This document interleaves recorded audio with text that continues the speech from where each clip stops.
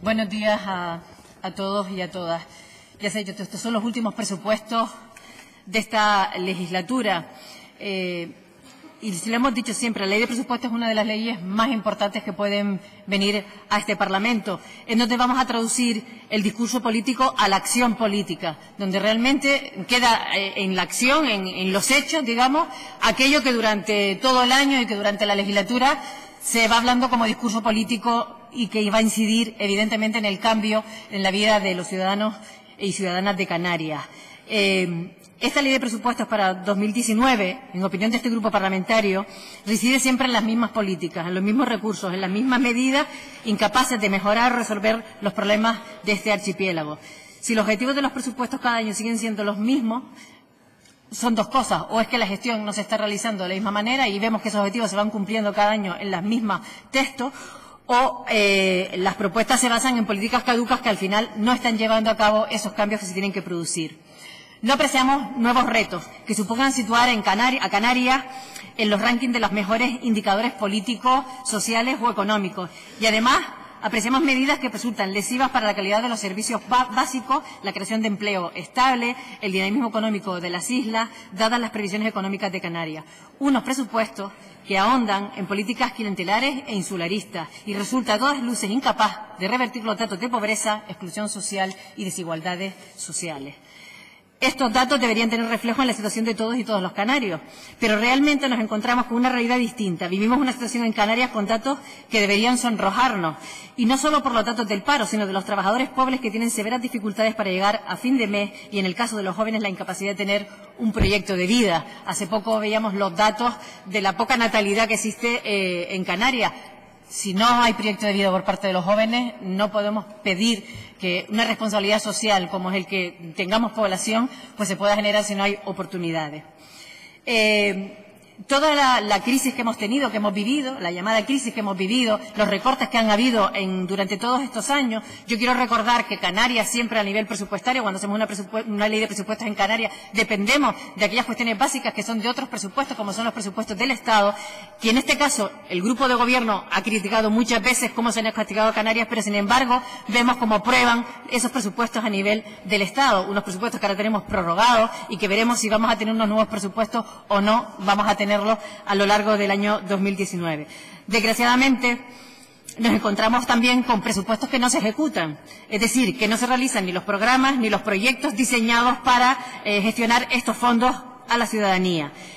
Eh, evidentemente no se cubren muchas veces las necesidades, listas de espera en, sanidad, eh, problemas que tenemos en el diagnóstico, en las especialidades, servicios básicos que están en la sanidad y, por supuesto, también en educación, con retrasos que desesperan también en la atención de personas como en el caso de la dependencia, que también hemos hablado muchas veces y no mm, tampoco tengo que ahondar más tampoco en los datos de pobreza y exclusión social que tenemos en Canarias y que todos conocemos. Ayer mismo se publicaba un informe, el informe LICRET, que mide la competitividad de las regiones. Y precisamente ese, ese nivel de competitividad, de crecimiento económico de las regiones y de bienestar de la ciudadanía de esas regiones coloca a Canarias a la cola. Somos el número 15 de las 17 comunidades autónomas. Este es un reflejo de la ineficacia de unos presupuestos que son incapaces de retribuir la riqueza en Canarias para el bienestar de la ciudadanía en nuestro territorio. Principalmente hablan del entorno económico, que tenemos una, baja tasa de actividad y una baja tasa de ahorro. Habla de una baja eficiencia empresarial, principalmente por el bajo dinamismo y el número de mujeres empleadoras, alta precariedad en el mercado de trabajo, principalmente por la tasa de paro y la cantidad de trabajo temporal y baja inversión en innovación. Esto lo dice un informe eh, que eh, hablan, eh, está hecho por todos los economistas del Consejo General y que, bueno, para que vengan el dato de Canarias, somos la 15 de 17 comunidades autónomas. Esto es una realidad que tenemos que cambiar y que esta ley de presupuestos ha sido incapaz de cambiar a lo largo no solo de este año, sino de los años anteriores. El Gobierno ha presentado unas cuentas para 2019 de un total de 8.799.731 255 millones de euros, subrayando, como es común que el Ejecutivo, que son cuentas expansivas históricas. Llevamos años oyendo esta retaíla de que estos son los mejores presupuestos para Canarias cada año. Eh, si quitamos el, gasto no financiero, al final tenemos unos presupuestos de 7.855, eh, perdón, si no digo bien, de 7.855 millones, 804, 854 millones de euros. El aumento de esta cuantía se debe principalmente al aumento de transferencias del Estado, veremos cómo quedan estos convenios, que nos vamos a entrar otra vez en esta discusión, y por supuesto la desvinculación de los recursos del régimen económico y fiscal de Canarias, algo que este Gobierno durante 30 años no ha, desvinculado en todos estos años y que ha tenido que llegar nuevas fuerzas políticas para hacer propuestas para que se desvincularan, se desvincularan de los presupuestos y, por tanto, esos presupuestos que a Canarias siempre nos han castigado, al final se reconozca eh, la situación específica de Canarias y ese fuero que, llevamos, que es el REF, que lo tenemos desde la época de los Reyes Católicos. Eh, por tanto, cuando hablamos de estos presupuestos, hay que decir que de los distintos convenios de Estado, el presupuesto solo en sí crece un 6,6%. Eh, estos presupuestos contienen una serie de medidas fiscales que a nuestro juicio son electoralistas. El hecho de que hayamos reducido el IGIG en medio punto no va a suponer para muchas ni empresas ni consumidores un ahorro, pero sí va a suponer una reducción de los presupuestos que va a afectar al techo de gasto y como para evitar que además esto se produjera un déficit en eh, la financiación de los municipios y de los cabildos, de las, las, entidades locales, al final ese dinero se va a tener que aportar y se va a tener que sacar de ese fondo donde tendríamos que distribuir para todas las funciones como digo, unas políticas fiscales que no son la solución para Canarias. Y además tenemos una evolución de la deuda pública que se ha duplicado desde el año 2010. Esto es a, grandes rasgos eh, la visión que tenemos de estos presupuestos, pero ahora me voy a centrar en lo que es esta intervención, que es el texto articulado de estos presupuestos, con las limitaciones que tenemos en las enmiendas parciales y que de un total, hemos hecho un total de 30 enmiendas hasta el texto articulado. Por un lado, creemos que estas enmiendas lo que pretenden es mejorar y paliar efectos que, como he dicho, han sido en estas leyes sobre los servicios públicos, esencialmente sobre materias fiscales, etcétera. Por un lado, no entendemos por qué el Gobierno de Canarias, con una ley del 2007, como es el Estatuto Básico del Empleado Público, no ha sido capaz, en todos los años de legislatura que lleva,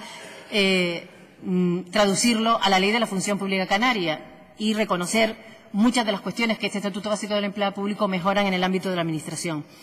Podemos presentar una enmienda para el reconocimiento del Grupo B, un Grupo B que de hecho y de facto ya se les exige en este caso a dos de los cuerpos eh, que están en la comunidad autónoma, que son los agentes de medio ambiente y los técnicos auxiliares de informática, titulaciones específicas que están englobadas según el Estatuto Básico en ese grupo B. Y que, por tanto, lo que estamos haciendo es exigirles una titulación y tenerlos englobados en un grupo, que es el grupo C, en este caso su grupo C1, que no es el que deberían estar encuadrados es algo que hay que acometer y, hacer el reconocimiento al personal al que ya se le está exigiendo mediante precisamente una modificación de la ley de presupuesto donde se cambió precisamente la titulación de acceso a este cuerpo y escala. Por otro lado, también tenemos una enmienda, aparte de proceder, hay otra enmienda que habla de la integración, una vez que aunque ya sabemos que no han sido aceptadas, evidentemente, porque todo el texto articulado se nos ha aceptado una sola enmienda, pero bueno, presentábamos también una enmienda para integrar el personal que cumplía las condiciones porque ya se les había exigido para su acceso esas titulaciones. Eh, hay una práctica que se ha incrementado también en esta legislatura, que son las atribuciones temporales de funciones del personal docente. En algunas consejerías vemos como a lo largo de esta legislatura se han duplicado y triplicado el personal docente que ejerce funciones en el ámbito de la Administración General de la Comunidad Autónoma Canaria. Eh, no entendemos esta práctica, porque además hay que sacar los recursos económicos para pagar a este personal. Señorías, por favor, perdone, señora Mozón. Señorías, por favor, guarden silencio. Gracias. Señora Monzón, que como sabemos es un personal que hace unas oposiciones determinadas para unas funciones determinadas y no son las de la Administración General y por tanto entendemos que esa práctica debe acabarse y de eso también va una de nuestras enmiendas. Eh, esta ley no recoge los supuestos de cobertura de la jubilación parcial eh, para la contratación de personal temporal cuando suceden estos, estos hechos. Y, esto lo que sucede es mermar la capacidad de gestión, porque al final los empleados públicos lo que hacen es gestionar los presupuestos. Y si no tenemos empleados públicos, pues no somos capaces de poder eh, eh, hacer, gestionar los presupuestos y poderlos llevar a término. Eh, también hay una falta de previsión por parte de este Gobierno con todas las listas de empleo. Cuando hablamos de profesionalizar la Administración pública, cuando hablamos de, profesionalizar el empleo público, hablamos de los que estén ocupando esos puestos los mejores formados y los mejores capacitados para realizar esas funciones. Cuando no tenemos listas de empleo para sustituir y tiramos de otras listas donde no están formados por esas capacidades, nos encontramos muchos problemas a la hora de desarrollar esas funciones y no hace falta que ponga algunos ejemplos aquí de los que hemos vivido en los últimos años. Paradójicamente esto va en contra de la movilidad que el propio Gobierno hace cuando tiene cuerpos y escalas y especialidades designados y que eh, en algunos casos algunas especialidades con la misma titulación no les permiten moverse a los mismos puestos. Y aquí estoy hablando de veterinarios asistenciales, veterinarios de agricultura, veterinarios de administración sanitaria, farmacéuticos asistenciales, farmacéuticos de administración sanitaria, con lo cual es la contradicción más absurda de ese gobierno, que tire de personal que sí tiene titulación de otras listas, que no tienen nada que ver con eh, eh, el acceso en esas listas para estas funciones, y sin embargo después no permita que personal funcionario de carrera que ha accedido con la misma titulación no pueda ejercer funciones de distintos puestos. Es algo que lo que se tendremos que ponerse a trabajar para que eh, seamos coherentes y congruentes con qué administración pública queremos, qué profesionalidad queremos dentro de la administración pública. Hemos hablado muchas veces también de las tasas. Es un debate que hemos tenido y que hemos repetido este grupo parlamentario durante muchos años. Las tasas tienen que revisarse y muchas veces cuando son, en este caso cobramos tasas para que eh, la ciudadanía acceda a la administración, debemos entender que esas tasas tienen que regularse para aquellas personas que no tengan la capacidad de acceder, tengan que reducir menos y, en este caso también nosotros pedimos que no se incrementen, que se mantengan y no incrementen ninguna subida. Tampoco entendemos por qué se, limitan las convocatorias de nuevas oficinas farmacéuticas, por eso nuestra enmienda. También que todos los importes contemplados en, en la Ley 1-2007, que tiene que ver con servicios sociales, nosotros estamos en desarrollo del artículo 25 de la reforma del Estatuto de Autonomía. Creemos que es indispensable luchar contra la situación de pobreza y exclusión social de nuestro archipiélago, el derecho de las personas de una vida digna y, por tanto, entendemos que debemos avanzar y empezar a caminar hacia rentas que tengan derecho subjetivo, avanzar hacia rentas básicas y, por tanto, como eso se va a presentar en la no voy a incidir más en ella, pero es una de las enmiendas que también presentamos en estos presupuestos. Eh, ustedes presentan en el texto articulado una alusión a las funciones inspectoras y de sanción. Nosotros creemos que debe revisarse en todas las relaciones de puestos de trabajo las retribuciones de los inspectores para que en esos acuerdos de gobierno que al final discriminan a uno frente a otro, al final seamos capaces también de ser coherentes y poner a todo el mundo en el lugar que le corresponde debido a esas funciones que son además exigentes y que, y que, y que creemos que deben estar remuneradas de forma adecuada. Incidimos en la bonificación aplicable de la base de Iclera que no sea de los 300.000 eh, euros cuando hablamos del impuesto de sucesiones, que también hemos hecho otros años cuando en este caso entre las personas hay parentesco. Proponemos medidas para la sostenibilidad de los servicios públicos esenciales derivadas del incremento de esta recaudación de los impuestos de sucesiones. Eh, un apartado aparte es la estabilización del personal de la Comunidad Autónoma Canaria, en el que hemos discutido aquí muchas veces, no está el consejero de presidencia en este caso, pero siempre hemos echado en falta unas políticas de personal claras a la hora de estabilizar el personal. Hemos visto una enmienda in boche que habla de una excepcionalidad con unos años, creemos, que, mm, bueno, no sabemos por qué está ese límite en 50 y no está, por ejemplo, en 45 años. Yo creo que debe haber un estudio serio de la edad media de los empleados públicos que están en una situación eh, de, no estabilidad y que, por tanto, se obliga a que tengan que pasar un proceso selectivo, sobre todo aquellos anteriores al 2005. Nosotros presentamos enmiendas en ese sentido, apoyada por una mayoría de organizaciones sindicales, pero entendemos que esa negociación tiene que darse con los sindicatos y establecer si hay que poner una edad, dónde está esa excepcionalidad y cuáles son esas excepcionalidades que hay que realizarse. Porque, evidentemente, está recogido en el Estatuto de empleado público y después de tantos años y con tanta precariedad que tenemos en la no estabilización del empleo en Canarias y la edad también avanzada de nuestros empleados públicos, es imprescindible poder hacer un plan real de estabilización del personal. Por lo tanto, eh, bueno, agradecemos ese esfuerzo porque entendemos que esa enmienda de ha sido un esfuerzo, pero creemos que hay que ir bastante más allá. Eh, también hemos andado las diferencias en el tratamiento de empleados, por ejemplo, el tratamiento oncológico, la falta de personal que se hace en funciones estructurales y muchas veces que se da, eh, nos vamos a, las encomiendas de gestión y vemos que hay empleados de empresas públicas que están en espacios físicos donde están los empleados públicos. Ya en su momento hubo un tiempo en que no se permitía que eso sucediera y creemos que eso debe realizarse nuevamente. No podemos estar creando sesión ilegal de trabajadores, tiene que haber personas responsables sobre esta situación y además entendemos que debido también al cumplimiento de la normativa relacionada a la protección de datos de las personas eh, físicas, que este personal esté utilizando esos medios y accediendo a datos nos parece preocupante. Dentro de las disposiciones eh, finales hay una modificación de la función pública para no limitar la carrera profesional de los trabajadores que puedan irse a otros cuerpos y escalas y que permitan estar en excedencia voluntaria también cuando están en situación de temporalidad pero no solamente cuando están en otro cuerpo y escala, sino entendemos que tanto fijo como de forma temporal, también cuando ocupan puestos de personal laboral o personal estatutario. La negatividad de la Administración en procesos de movilidad también ha ocasionado que tengamos muchos problemas y tenemos ese artículo de la Ley 4-2002, el artículo apartado 1 y 2 del artículo 14, que son discrecionales y que lo que estamos haciendo es mover al personal, no sabemos ni con qué criterios, criterios que favorecen a uno en, en detrimento de otro. Hemos preguntado por los gastos de acción social que nunca nos ha respondido cómo se han repartido a lo largo del año 2018. Se incrementan dos millones en el 2019. Esperemos que sí sea una convocatoria real y no como en 2018. Nadie nos contestará esto seguramente porque lo hemos preguntado dos veces y nadie nos dice nada. También sobre desaparecen las áreas prioritarias, pero creemos que tiene que haber una sustitución real y de las necesidades que quieren cada departamento para no tengamos déficit.